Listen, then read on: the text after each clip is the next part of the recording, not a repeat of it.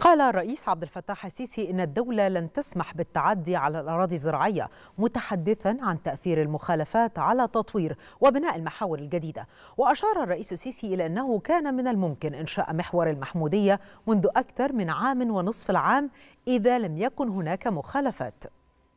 محور المحمودية اللي بيتكلم فيه لو لو المحور ده المحور بتاع المحمودية ده ما كانش عليه أكتر من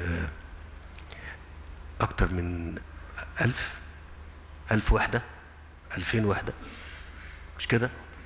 اللي هو هشام أمنة موجود مش كده؟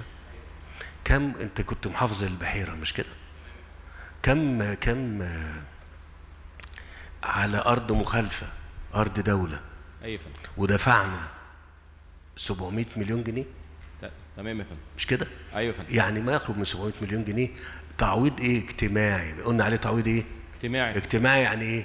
يعني رغم إن هو مخالف ودي مش أرضه لكن قلنا لأن إحنا ما نقدرش نسيب الناس كده ونمشيها فكان ال- اللواء هشام كان موجود محافظ ساعتها قال إحنا محتاجين 700 800 مليون جنيه عشان أخلي المحور ده وأعمل طريق. يوصل من اسكندرية لغاية آه، أبو حمص. حوالي 60 70 كيلو تقريبا. مش كده؟ أيوه مش كده يا كامل؟ أيوه أنا توقفت هنا للموضوع ده. اتفضل استريح. اوامر. اتفضل. أنا بس عايز أقول لكم إيه؟ لو ما كانش الكلام ده موجود المخالفات دي كان زمان المحور ده بسهولة اتعمل. اتعمل من من سنة ونص فاتوا أو سنتين.